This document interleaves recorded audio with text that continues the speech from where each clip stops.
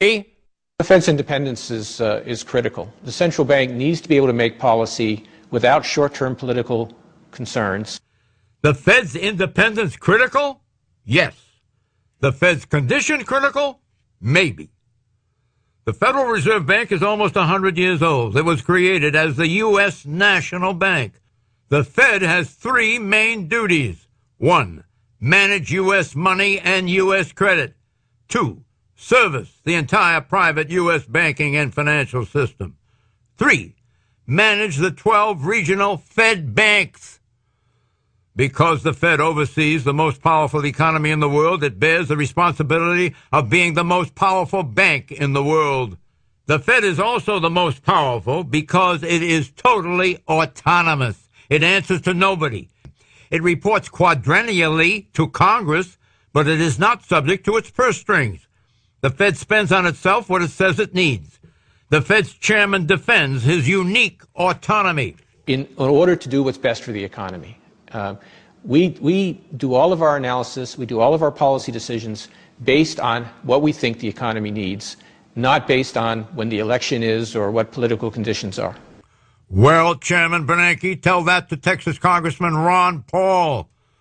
For over 30 years, the Libertarian Republican and two-time presidential candidate has argued the Fed is far too autonomous, too powerful. Paul also says Fed policies and Fed freedom cause financial bubbles that bring down the economy. In two weeks, Congressman Ron Paul will be Chairman Ron Paul, Chairman of the House Subcommittee on Domestic Monetary Policy, which includes in its oversight the Fed. Incoming Chairman Paul intends to use his new position to push legislation that would, for the first time, coerce the Fed to open its books to Congress, indeed to Chairman Paul's Domestic Monetary Policy Subcommittee. It's the atrocious nature of the fact that the Fed is, is a government unto itself. I think there is so much more to learn, and I'm very delighted that the people want to know more about the Fed. Question In what ways does Congress exercise power over the Federal Reserve, Monica Crowley? Well, the Fed is independent. Uh, the chairman of the Fed does have to report, as you pointed out, um, every quarter to the Congress, but it is an autonomous um, institution and rightfully so. The only one Paul, in the U.S. government? The only one in the U.S. government that doesn't have strict congressional oversight over it. Now, Ron Paul is going to be uh, chairing this subcommittee. Bernanke is going to be testifying in front of him, and that's going to be some very interesting C-SPAN viewing because there are going to be a lot of fireworks. Ron Paul believes that the Fed should be disclosing what it's doing. Ron Paul has gone out there saying that the Fed is, is helping to destroy the U.S. currency, the dollar, and he thinks that uh, the, the currency devaluation is a very John. serious problem potential inflation. There are going to be a lot of questions for Ron Paul is right. When the Fed was formed, John, a $20 gold piece and a $20 bill were worth the same.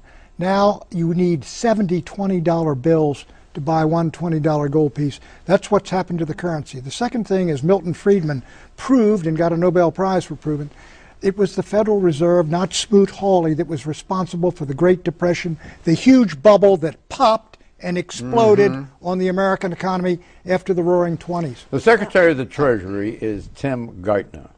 Tim Geithner and Bernanke are the best of pals, even, even though even, neither one of them is it really in, moves in social circles in Washington, D.C.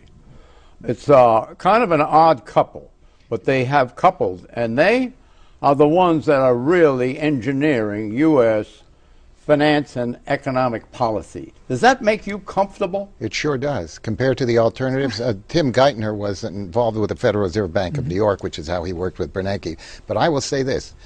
The Federal Reserve System saved this economy and it saved the financial system in the last several years the whole banking system was frozen for various reasons, including a huge amount of bad loans. You couldn't get money into our economy through the banking system because they wouldn't make loans simply because they didn't so know how you're bad com- their you're so com- Are you comfortable with the independence? I, I, the I autonomy su- of the absolutely, Fed? Absolutely. I would support it under any condition. Predictions, Pat.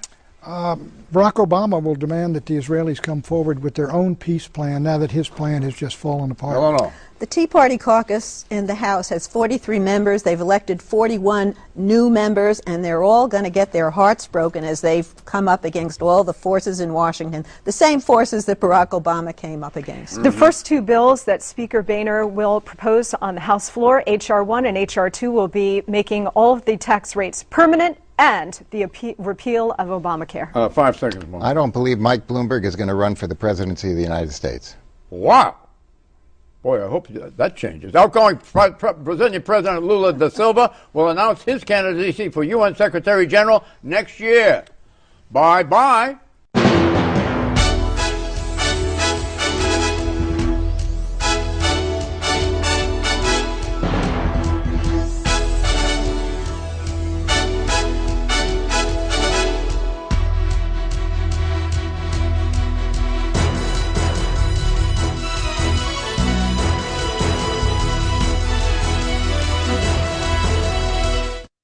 Geico, committed to providing service to its auto insurance customers for over 70 years.